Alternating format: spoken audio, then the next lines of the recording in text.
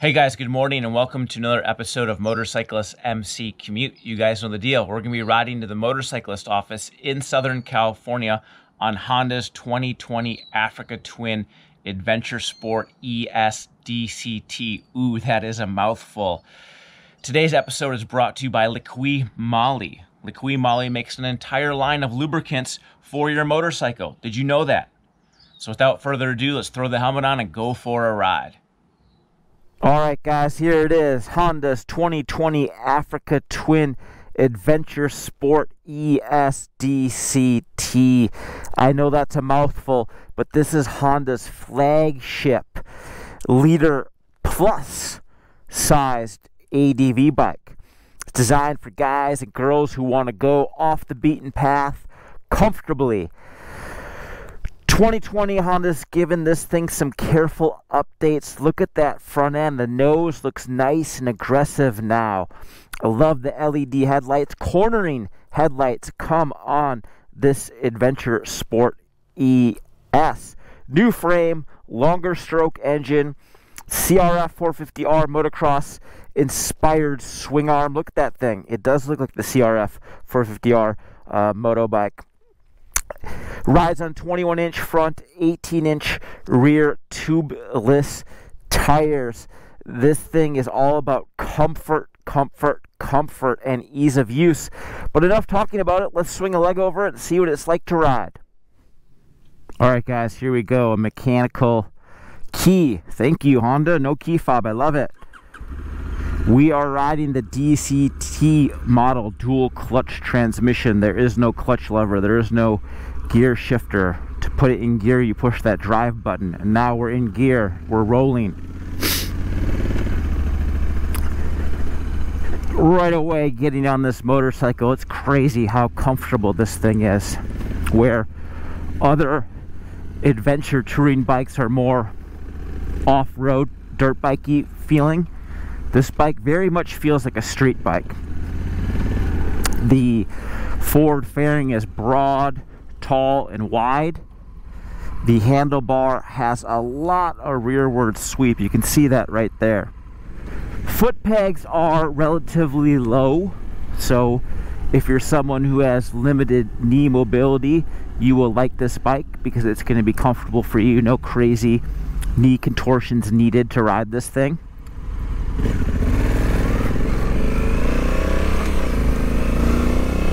553 pounds with a full tank of gas with a full 6.5 gallon tank of gas. This thing has one and a half gallons more fuel capacity than the standard Africa Twin. Listen to this thing go. Stroked out engine. Honda added piston stroke to this parallel twin configuration to give it more torque and they did a marvelous job. This thing has a lot more mid-range a lot more bottom end a lot more acceleration. DCT Honda's been making these DCT transmissions for 10 years now. Isn't that crazy? Been offering a DCT transmission for 10 years and this latest generation DCT system just when you think they can't get any better they do. It is even more responsive even smoother even more adept at giving you a motorcycle riding experience without having to use the clutch or shift gears I love DCT I always have loved it since it was debuted on the 2010 VFR 1200F. It just allows you to focus on riding. You don't have to worry about using the clutch, clutch shifting gears. And I like using the clutch and shifting gears, but I also like not doing it. You can choose between standard drive mode, which the machine's in right now, or hit the drive mode selector and now you're in sport mode. So it's going to give you an alternate shift map.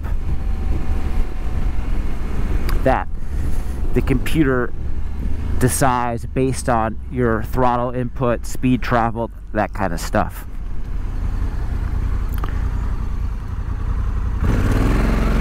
The thing I like about this thing, ooh, wheelie right there, is how much more responsive the DCT is now. That little millisecond where you release the clutch and give it gas, I feel like you could almost launch this motorcycle faster just because all you have to do is twist the throttle. It just responds so much more quickly than before. That little bit of lag time that the DCT previous gen DCT systems had is gone. And if you want to reduce that lag time even more, Honda has incorporated a G mode. Why do they call it G mode? Who knows? But by enabling the letter G mode, the clutch response is even shorter. It engages the the drive even faster. And that's really good for folks who are riding off-road and you want that immediate power delivery with zero lag. G-mode helps mitigate that lag. But to be fair, even in the standard mode, it there isn't a lot of lag. And we're talking milliseconds here. Even with the original system, there was some lag, but it was so small, so almost immeasurable, but you could still perceive it. Well, Honda's just kind of firmed that up and literally reduced milliseconds off that. So good job to those guys. I like this engine. It has a lot of power, has a pleasing character. You can't really hear the sound of the engine so much in the cockpit. I mean, you can hear it, but it's not, it doesn't have a very ferocious growl. But if you're riding next to someone on an Africa Twin and they give it the beans, you're gonna hear that parallel twin roar. It's got a really pleasing sound. Uneven firing order, just like every other modern parallel twin made, gives it a little bit extra character, a little bit more power feel at lower RPMs. You know, the Honda 270 450 I'm sorry 275 40 firing order is a little bit smoother than the other guys it almost feels like that firing order isn't uneven just because how smooth it is we're just gonna butt up here guys and get ahead of all these cars. We don't want to be a last man standing here. For a 553 pound bike this thing is very easy to wield. Get ahead of these guys here. Cruise control. This motorcycle has cruise control ride by wire powered cruise control nonetheless and it responds very accurately a lot going on on this 6.5 inch color TFT dash display. I like that it's touchscreen, but of course you can't manipulate the display when you're riding. You have to be at a standstill to do that. Oddly enough, Honda has this small rectangular LCD display that looks like it pulled it off the Honda Grom almost. So it's kind of odd they would actually have two displays. I don't even know why they have that. A lot going on on this display. A lot going on on the switchgear here on the handlebar. You almost feel like you're riding Honda's Goldwing with how many buttons and switches that the switchgear offers here. The the menu system and the intuitiveness of this uh, user interface isn't the best. Of course, you're going to be able to acclimate to it. You're going to be able to read the manual and figure it out. But there are other name brand ADV bikes that have a much slicker interface. Much, much slicker. And it would have been nice if Honda would have spent more time dialing that in. Not saying you're not going to be able to figure it out, but it's nowhere near as intuitive as some of the other brands. For instance, the power mode. So right now we have it in power mode level 1. Now, on Honda's CBR 1000RR, when they debuted it for the 2017 model year, it had the same configuration of this circle with levels 1, 2, 3, 4. And the higher the, the, the illumination of the sphere, the more power it has. Well, this bike is the opposite. So the lower, the more power it has. Same thing with engine brake. Right now, we are riding in engine brake mode 1, which is the lowest engine braking setting. If we want the most engine braking, we go to, to level 3. So for me, it's very confusing, especially having gotten acclimated on the system with Honda CBR 1000RR, which basically debuted the adjustable power modes and Honda selectable Honda selectable torque control HSTC. That's Honda nom nomenclature for traction control. So they don't want to call it traction control, they want to call it selectable torque control. So that's confusing. Setting up the system is also kind of cumbersome. It's hard to do. It takes a lot of fumbling to reach the main menu I don't even know how to do it with the switch gear. You literally have to push this time, tap the time uh, stamp to get in the main menu, but you have you can only do that when you're at a stop. So definitely a little clunky. The response of the dash is also slow. It seems like the processing power of the CPU is underrated for the application or the code that the CPU is processing is too complicated and takes too long. So the electronics as far as the interface and the actual speed of the processing power could definitely be boosted. But I do like the dark mode. The dark mode here is awesome. I love being able to select that. It's easier on my eyes. This particular Africa Twin, you can pair it to your smartphone, your Apple compatible iOS driven smartphone. Honda recently released an update so you can use Android devices on the Goldwing. They haven't applied that same update here on the Africa Twin. So this CarPlay can only be used with iOS enabled devices. It's neat. It's neat being able to work your phone through the controls, but there's no speakers. So you still need to have a Bluetooth headset to even hear anything, which is kind of a moot point at that point because if I have a Bluetooth headset, I'm just going to pair it to my phone and not have, have it paired to this display. So, I mean, I could see how some people would want to do that, and yeah, that would be nice, but it just, it's creating too much steps at this point. So, again, Honda has some work to do on the slickness of the interface and the features, but still we're happy that they're they're incorporating features like the heated grips, which you can access via this FN function button. Five levels of heated grip, which I like. These plastic handle guards are another nice touch. Adjustable windscreen, we have it in the lowest of its five settings. I believe there's five settings. You put it in the high setting and it does a great job of shielding the rider from the elements. I like the windscreen, but when you're riding off-road, my God, when you're riding off-road standing up, the windscreen feels like it's gonna cut off your neck. It's just right in the way of where your head is positioned, at least where my head is positioned when I'm riding. The ergonomics, while it's a very comfortable street bike with a nice deep dish seat that's wide and supportive, nice rearward sweep handlebar, while it's very comfortable on the road, when you're standing up on this motorcycle, the ergonomics just feel plain odd. It feels odd to stand up on this motorcycle. There's really nothing to squeeze with your knees, which reduces the stability of the motorcycle when you're riding off-road. You know, when I ride bikes on the dirt, I want to be able to squeeze them with my knees like I can on a motorbike. Gives me more control. This bike is very hard to do.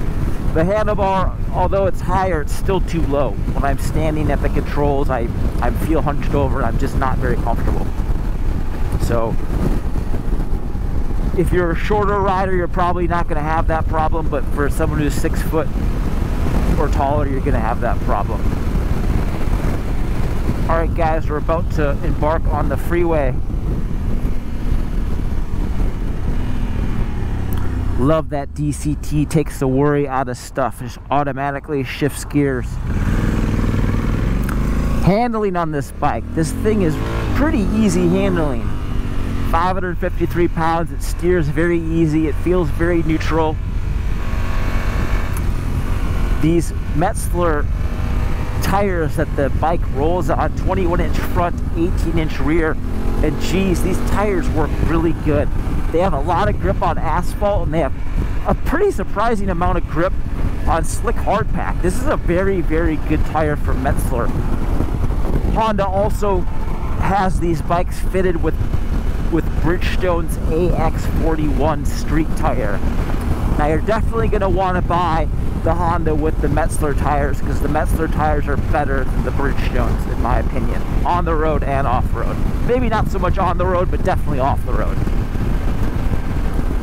Handling on this bike this bike comes outfitted with Showa sourced electronic semi-active suspension. The fork and the shock alter damping control in real time based on um, rider control input and road conditions.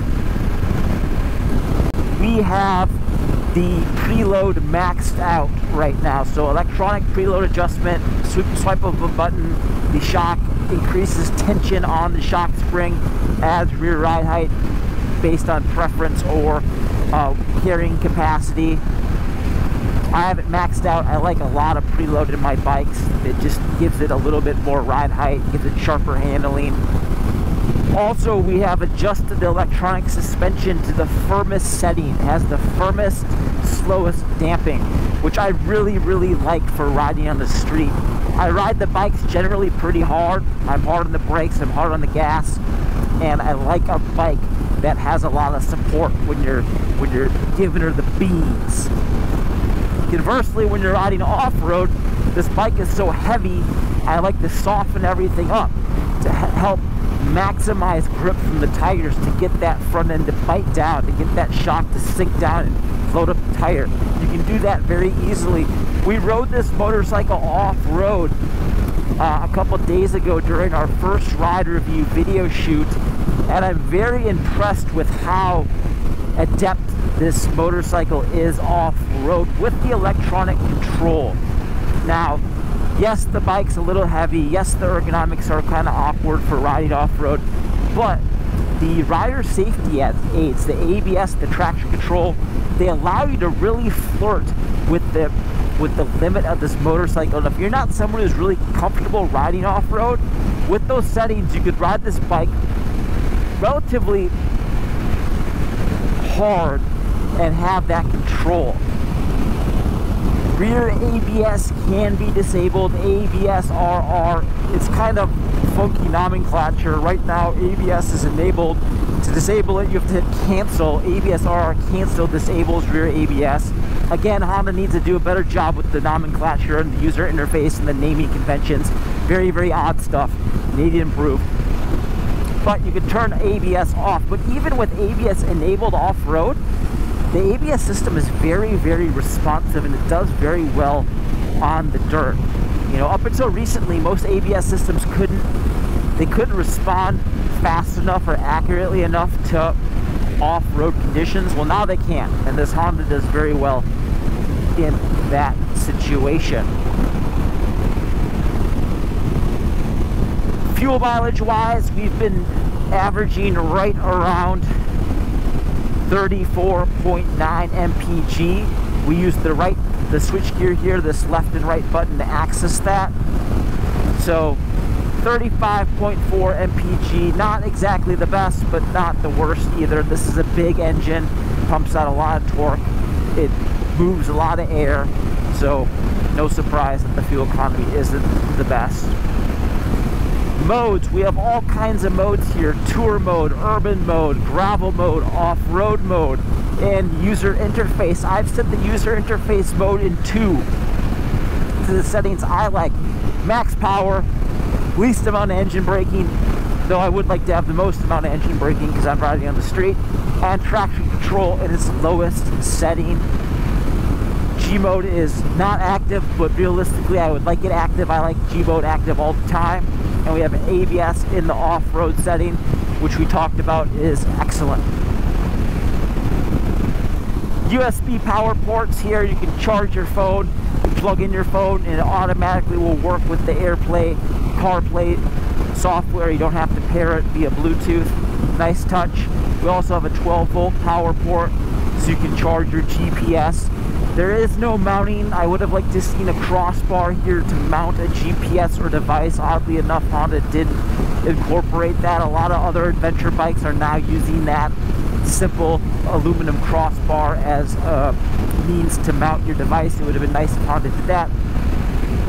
But still, if you're looking for a very, very comfortable adventure touring bike, that's definitely more road biased than off-road, but still can be ridden off-road, especially with the high level of electronic rider safety aids and how well they're developed. You have to remember, Honda Honda dragged their feet when it came to traction control, adjustable power modes. They were late to the game. And when they first came out with that 2017 Honda CBR 1000RR, the electronics on it were downright terrible. They were terrible. And Honda's really made a big jump from that original 2017 electronics package to the 2020 electronics package on this CRF 1000L Africa Twin. Even though the genre is different, the the pro and the programming is different, the actual mechanical hardware is very similar between those motorcycles. So, good job Honda finally refining the electronics, getting getting to, from having terrible electronics to very very good electronics in a short period of time. Kudos to Honda. All right, guys, we're gonna take a pause right now. We're gonna be driving on the freeway for a much longer time, so we'll check in with you guys in a little bit.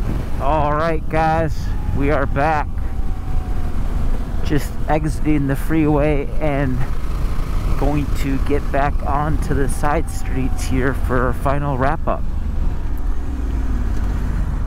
This electronic suspension damping by Showa is just, it really is exquisite. It's neat how with a few swipes of the button you can transform this motorcycle from a firmly dampened, almost kind of like sport type ADV bike to uh, a conventional ADV bike with soft suspension and good grip off-road. And that's what Honda's really done with this CRF 1000L Africa Twin is basically this motorcycle is almost like a it's almost like a sport touring bike that you can take off-road. That's what this thing's all about. It's very friendly on the road. You know, it has acceptable off-road capability. Having the 21 inch front, 18 inch rear wheel size means you can put real dirt bike tires on this thing, real knobby dirt bike style tires, and have extreme grip when you're going off-road if you wanted to do that. And this bike is a really neat bike based on those things. Alright guys, that was a fun inaugural MC commute from our new destination. We're going to do a vote here at the end to see which destination is your guys' favorite. We'll have a couple different routes and we'll ultimately let you guys, the audience, pick which route you guys want us to use going forward. Alright guys, there it is. Honda's 2020 Africa Twin Adventure Sports ESDCT. $18,000 is what this motorcycle costs. And it's a neat bike. It's super comfortable, handles great on road, pretty okay off road. The electronic wizardry on this motorcycle is no joke. If you're someone who's a little bit timid when you're riding off road or even on the road and you want a bike that's going to be able to sort all the nonsense out for you and allow you to ride comfortably within your comfort zone, this bike is a good option for that. All right, guys, let's do some Q&A real quick. Answer some questions you guys have straight to the top. Good for daily or touring. This bike is good for daily riding and touring. Excellent for both. Would you commute on it every day? Well, from where I live in Vista, California to Irvine, California, I would definitely commute on this bike every day. It is super comfortable. It is kind of fun to ride. And the price isn't bad either for what you get. Compared to the 790R and 850 GSA, uh, those bikes are in a totally different class. I mean, not only in terms of engine size, but this is a big street bike. Those bikes, namely the 790R, is a dirt bike. So, totally different bikes. If you're going to ride off road, you want the 790R. If you're going to ride on the street, you want this thing. How does this compare to the new V-Strom 1050 XT? I love the 1050 XT, but this thing is just much more of a mature bike. It's more comfortable, it's bigger. You know, in standard base configuration, the price isn't that much different. I really love that Suzuki V-Twin though. Great question, guys. How comfortable is that seat? The seat is unbelievable. Look at it. It's a street bike seat. Super deep dish, very supportive very comfortable. Look at the passenger accommodations too. Excellent. All right, guys, this or a BMW R1250 GSA. I'm a Beamer guy, so I'd buy the Beamer, no doubt. But this bike is very excellent. You get a lot for your money. I mean, think about that. $18,000. It's a lot less expensive than a GSA bike, and you get everything. So keep that in mind. All right, guys, that's a wrap from this MC Commute. If you like this video, make sure to give it a thumbs up leave us a comment. Make sure to check out our written article on motorcyclistonline.com and stay tuned for another MC commute route. We're going to have you guys vote for which one is the best. So thanks for watching, guys. We'll see you next time.